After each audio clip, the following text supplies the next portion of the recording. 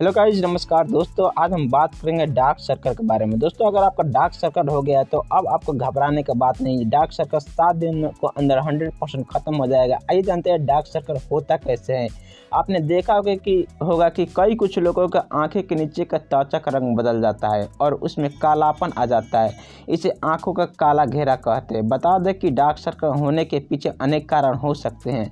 अनेक बार काफ़ी ज़्यादा तनाव लेने के कारण आँखों के नीचे काले घेरे बन जाते हैं। इसके सिवा कम सोने, हारमोन्स में परिवर्तन होने या अव्यवस्थित जीवन शैली होने की वजह से आँखें के नीचे काले घेरे बन जाते हैं। दोस्तों, अगर मेरा चैनल अभी तक सब्सक्राइब नहीं किया तो मेरे चैनल को सब्सक्राइब ज़रूर करें, क्योंकि ऐसा ही वीडियो हम आप तक लाते हैं। अब चलते हैं दोस्तों, आपको नुस्खे बताते हैं, जिसके इस्तेमाल से आपका डाक्टर का सप्ताह दिन के अंदर हंड्रेड परसेंट ख़त्म हो जाएगा।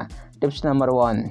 एक टमाटर ले लें, एक चम्मच नींबू का रस और चुटकी भर बेसन और हल्दी लेकर मिक्सी में पीस लें। इस गड्ढे पेस्ट को अपने आँखों का चारों ओर लगाएँ और 20 मिनट के बाद चेहरे को धो लें। ऐसे हफ़्ते में ज़रूर करें। आपका डार्क सर्कल ख़त्म हो जाएगा। एक बार फिर से दोस्तों, एक टमाटर लेना है, एक चम्मच आपको हल्दी पाउडर लेना है, एक चम्मच नींबू लेना है, एक चम्मच आपको बेसन लेना है। तीनों को लेकर आपको एक पेस्ट बना लेना है। पेस्ट बनाने के अपने, के बाद अपनी आँखों पर लगा ले।